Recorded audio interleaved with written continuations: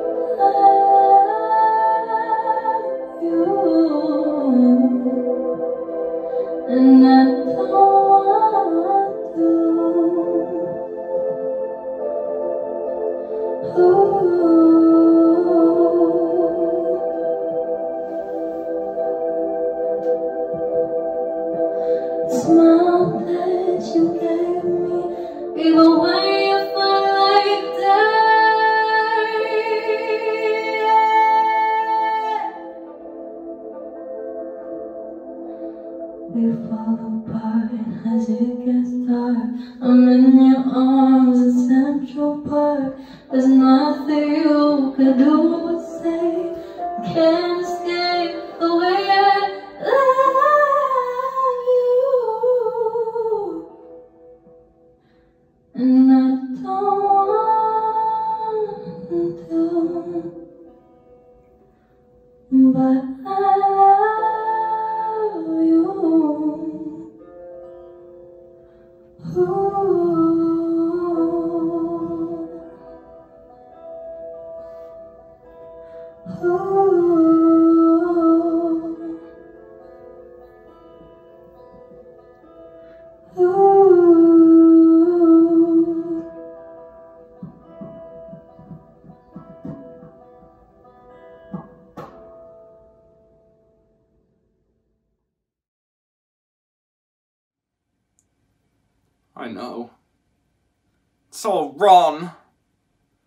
By rights, we shouldn't even be here.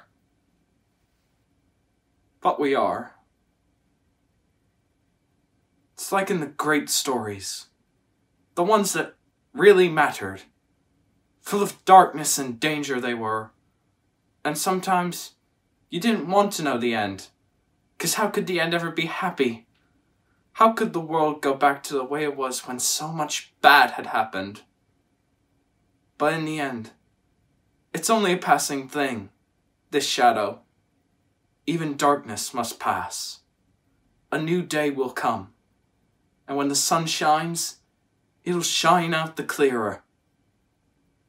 Those were the stories that stayed with you, that meant something, even if you were too small to understand what. But now, I believe I do understand. I know now. In those stories had lots of chances of turning back, only they didn't. They kept going. Because they were holding on to something. That there's still good in this world. And it's worth fighting for. Everyone wants a happy ending, right? But it doesn't always end that way. Maybe this time. I'm hoping if you play this back, it's in celebration. I hope families are united. I hope we get it back, like something of the normal version of the planet has been restored. If there ever was such a thing, God, what a world! Universe now. If you would have told me that we weren't alone, let alone to this extent, I wouldn't have been surprised, but come on. The epic forces of dark and light has come into play. And for better or worse, that's the reality that Morgan's gonna have to find a way to grow up in. So I thought I'd record a little greeting in case of an untimely death on my part. I mean, not that death at any time isn't always untimely. This whole time travel thing, we're gonna try to pull it off tomorrow. It's got me scratching my head about the survivability of it all. Then again, that's a hero gig. Part of the time journey is in the end. What am I even tripping for? Everything is gonna work exactly the way it's supposed to. I love you, D1000. I used to have a couple horses myself. I use them for hunting. I do a lot of hunting. Deer mostly. Although, I got a couple bear last year. Yup. They were good ponies. Hunting ponies. I had to train it special, you know. I had to sell them to get these wheels and a Jeep. I also have a Jeep pickup with four-wheel drive and it's got a gun rack. And I use that for hunting mostly.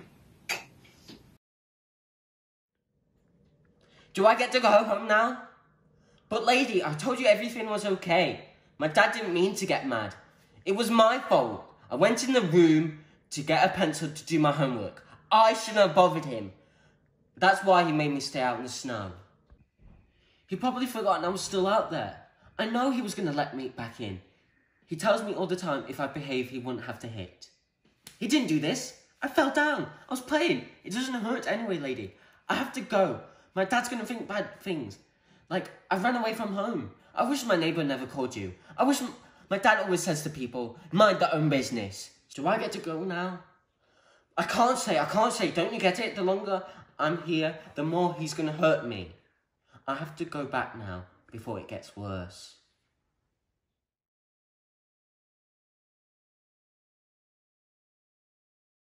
Good evening, London. Allow me to first apologize for this interruption. I do, like many of you, appreciate the comforts of everyday routine, the security of the familiar, the tranquility of repetition.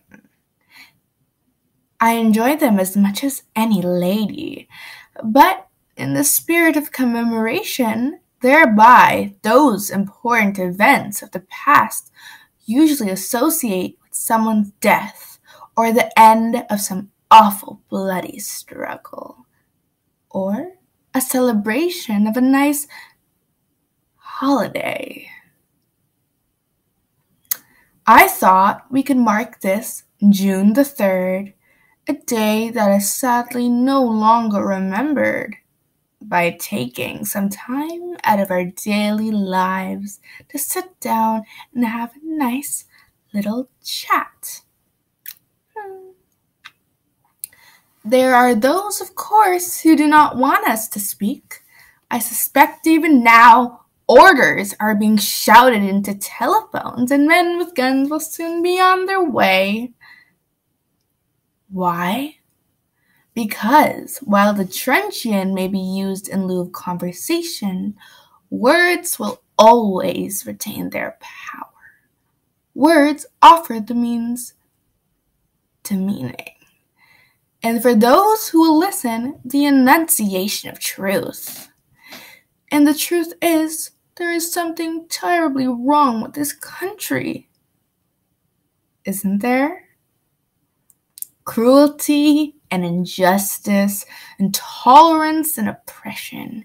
And where once you had the freedom to object, to think and speak as you saw fit, you now have censors and systems of surveillance coercing your conformity and your submission.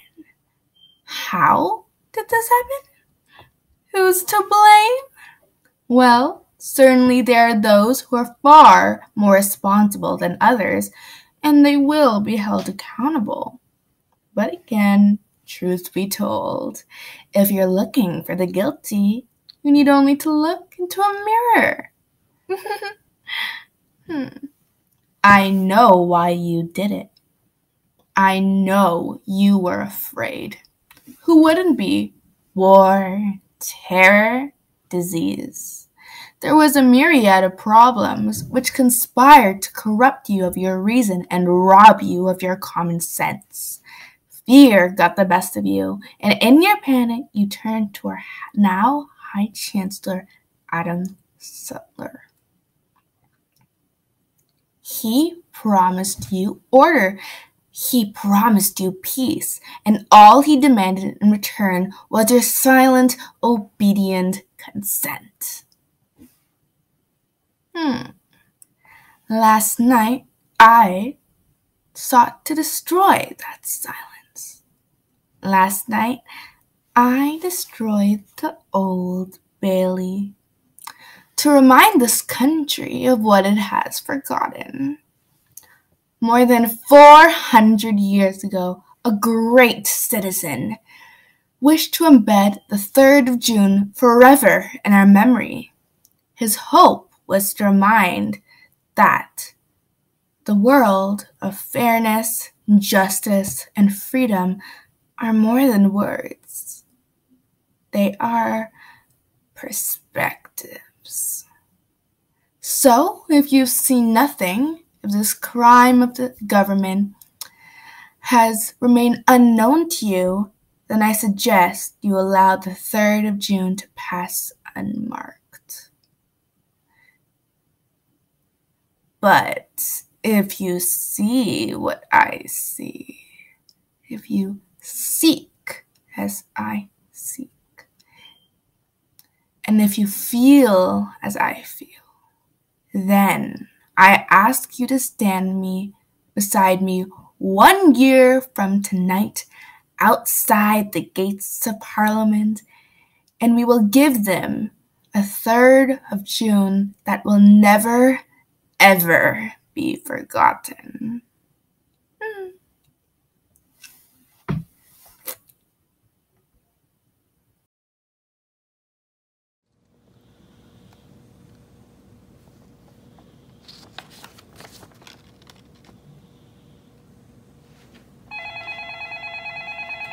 Hmm. I gotta take this. Hold on. Vader, how's my favorite Sith? Uh, whoa, whoa, whoa, whoa! Just slow down. What? What do you mean they blew up the Death Star? F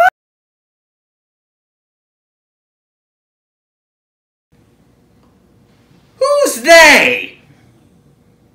What the hell is an aluminum falcon? Okay, okay. So, so who's left? Are you me? Well, where are you? Wait a sec. Wait, you've been flying around for two weeks trying to get a signal? Oh god, you must smell like feet wrapped in leathery burnt bacon. Oh, oh, I'm sorry. I thought my Dark Lord of the Sith could protect a small thermal exhaust port that's only two meters wide. The thing wasn't even fully paid off yet. Do do you have any idea what this is gonna do for my credit? Hang on, I got another call. What? I'm very busy right now! Oh. Oh, well. Well, where are they going? Okay, uh, just get me a turkey club. Uh, coleslaw, I guess. I'm, I'm not even gonna eat it. What, what are you getting? Yeah, see, I always order the wrong thing. Nah, nah, I'll just stick with that. Okay, bye. What? Oh, a cherry coke. Thanks. Sorry about that. What? Oh, oh, just rebuild it? Oh yeah, that'd be a real original. And who's gonna give me a loan, jackhole? You? You, you got an ATM and a torso Lite-Brite? Now get your seven foot two asthmatic ass back here, or I'm gonna tell everyone what a whiny bitch you are about Padamati or Panda Bear, or whatever the hell her name is. Oh, jeez, he's crying.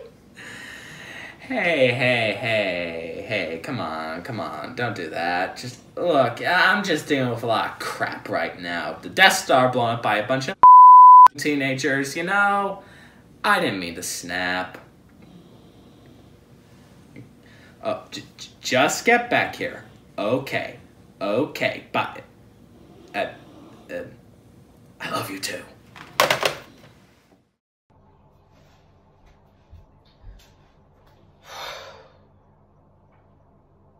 Look, can't stop me.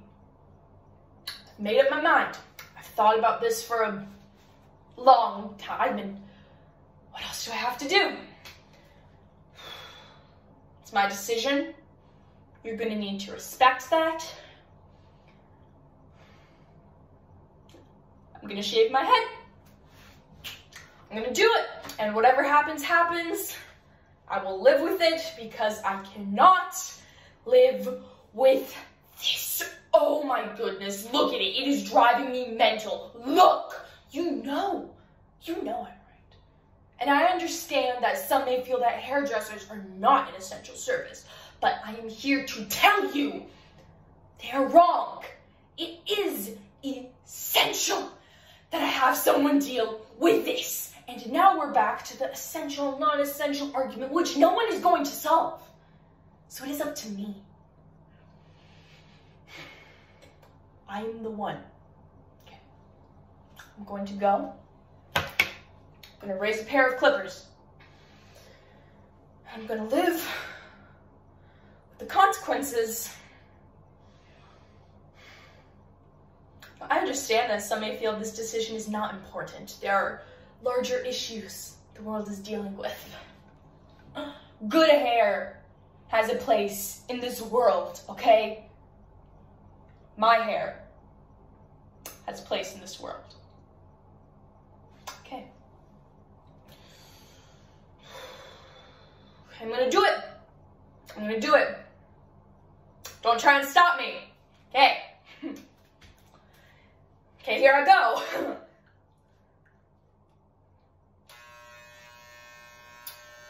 Wish me luck.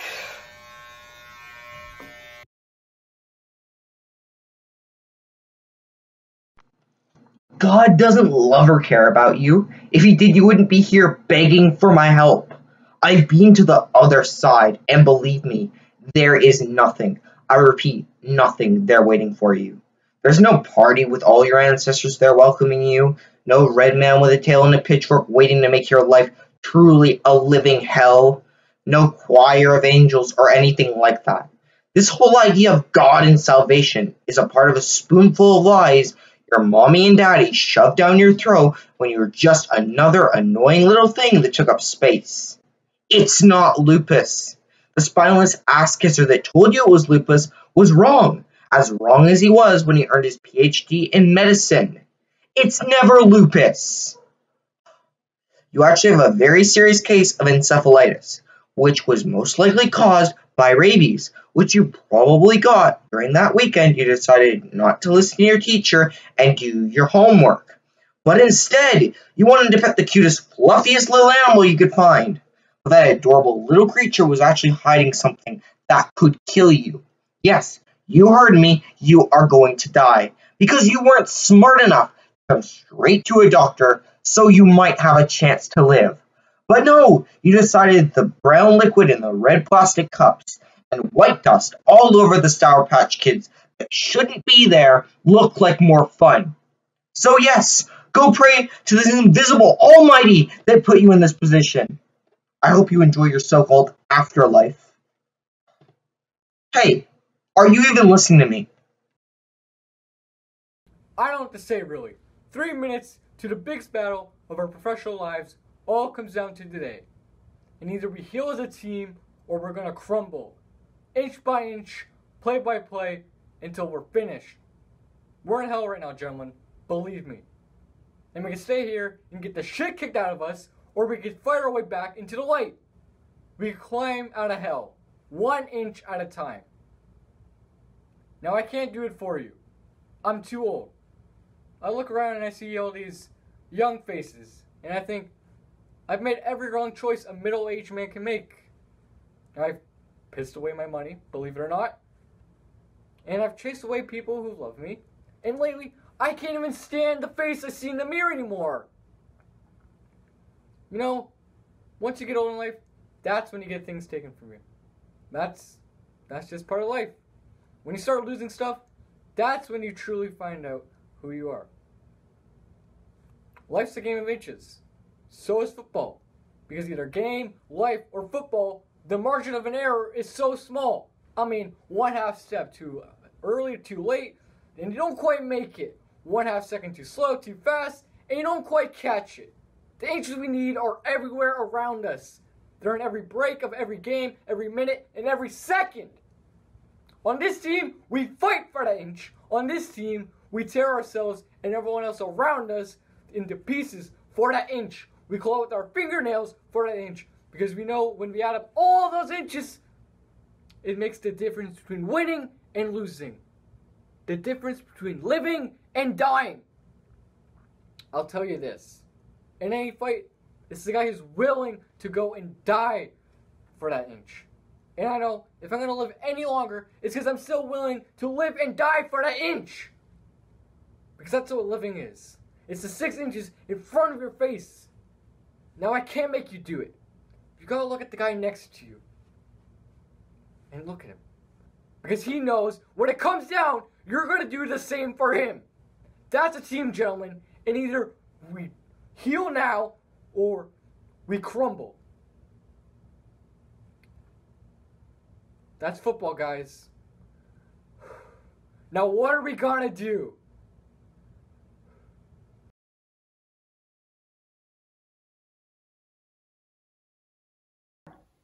Hear that? That's the sound of the Ford Motor Company out of business. In 1899, my grandfather, Henry By God Ford, was walking home from Edison Illumination after working a double shift. He was ruminating. That morning, he had himself an idea that changed the world. 65 years and 47 million automobiles later, what shall be his legacy? Getting it in the tailpipe from a Chevy Impala. Here's what I want you to do. Walk home. While you're walking, I want you to ruminate. Man comes to my office with an idea, that man keeps his job. The rest of you second best losers, Stay home. You don't belong at Ford.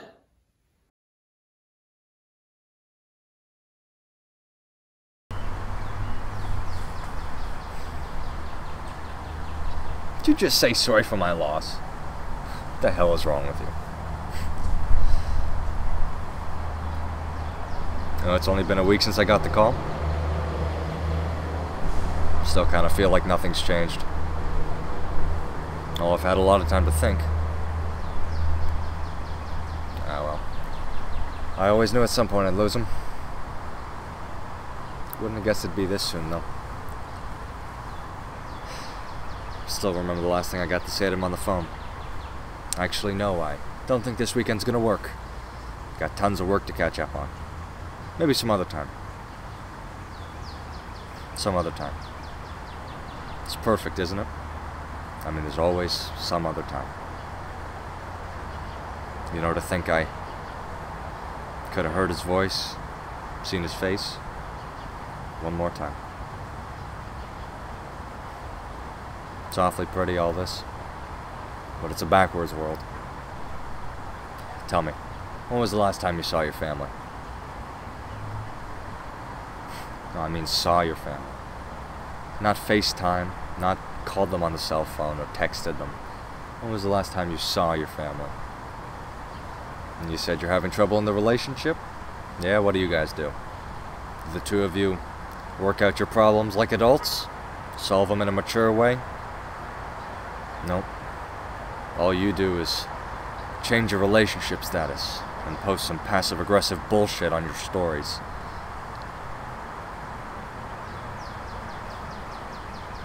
You know, there's all too many people in this world like you and me. People who just don't seem to understand that this is gonna end. I'm not saying you don't know you're gonna die. You're too smart for that. But I don't think you quite understand just what it means to die. If you did, I imagine you'd be spending a whole lot more of your time doing good things, not worrying about so much. Whole lot less doing the bad. Because of this, you're growing lazy. Yeah, it's not hard to see how lazy you've become. Tell me, when was the last time you really stood still? Stood still. So still you could see. So still you could see the color of green on the leaves. So still you could hear the birds in the trees. So still you could feel the warmth of the sun on your skin. Hell, I bet you can't even tell me the last time you had a conversation you really cared about. You know, you spend so much of your time worrying about the future. And when you're not doing that, you're regretting every single mistake you've ever made in the past. You never sit still to live in the only part of your life that's ever gonna matter, ever has mattered. Right now. Not a year from now, not tomorrow, not yesterday, not five years ago, no. Right now. You know, if I could go back and do one more thing, just one more thing, you know what I'd do? I'd try and memorize what every little bit of his face looked like. The way he smiled, the way he laughed. I'll even try and remember the way he looked when I ticked him off. He was my dad. And he meant more to me than. more than I ever showed him. Although I thought I did. I thought I tried. Looking back, I didn't do enough. Nowhere near it. But there and then, I really convinced myself that I was doing everything I could. Really convinced myself that I was trying. But hell, what's it even mean to try? In this world, it's pretty much just do or fail, right? That time I failed. Look, I knew him well. And he wouldn't want me to be like this. He'd want me to live life to its fullest. Not spend my time worrying about the future or regretting my past. No. But how? How do I move on when the only thing I want to do is go back? I don't know. Surprisingly, I don't have the answer to that one. Life doesn't want to give me second chances. But then there's you. The sorry son of a bitch with the second chance I never got. Look, kid. I can't make you do the right thing. I can lead the way, but you're the one who's got to walk through the door. I trust you'll do what's right.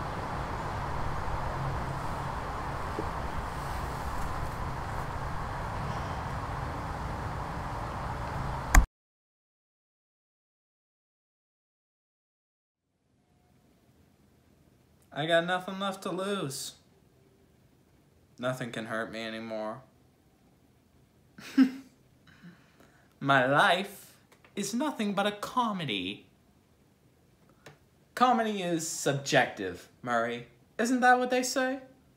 All of you, the system that knows so much, you decide what's right or wrong.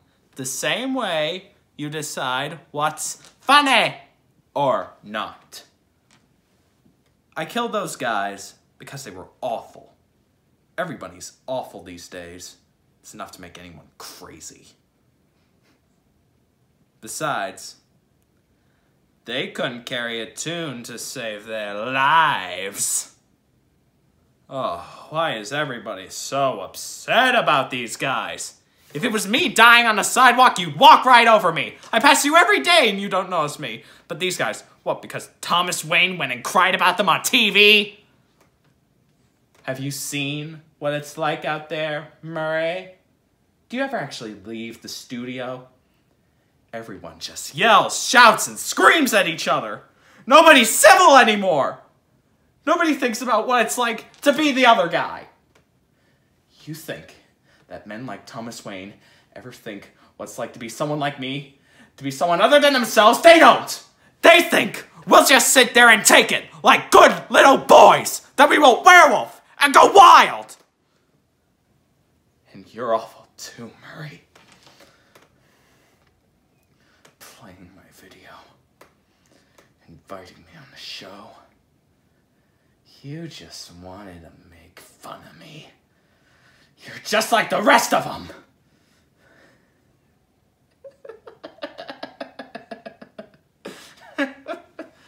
How about another joke, Murray?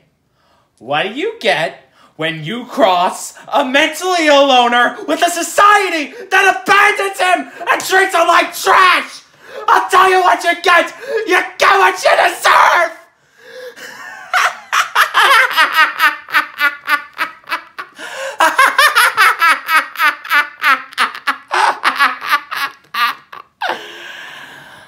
Good night, and always remember, that's life.